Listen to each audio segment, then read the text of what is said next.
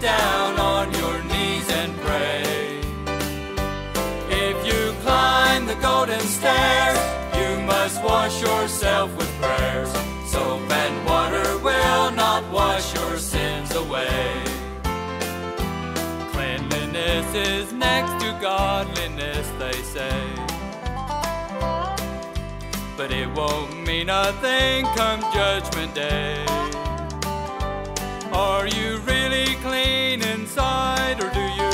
Dress yourself with pride? Soap and water will not wash your sins away.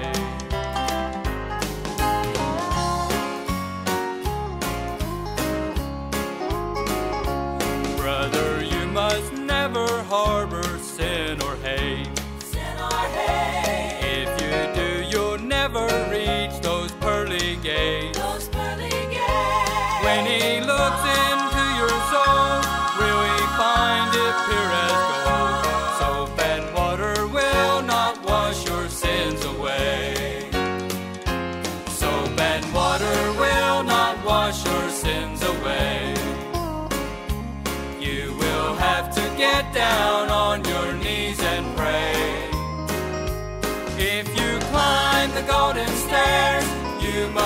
wash yourself with prayers.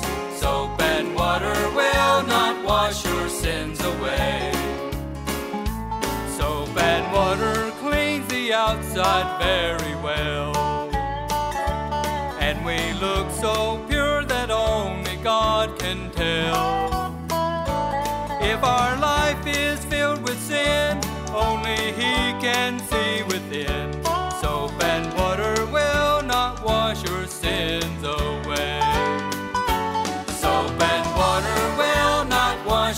sins away. You will have to get down on your knees and pray. If you climb the golden stairs, you must wash yourself with prayers. Will